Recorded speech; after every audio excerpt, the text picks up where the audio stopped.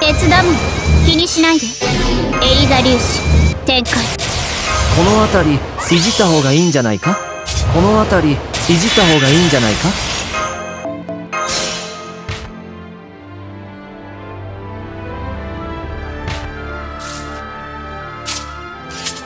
ロミオの悲嘆ロミオの悲嘆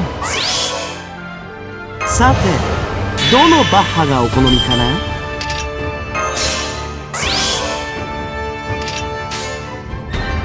さあいいでしょう。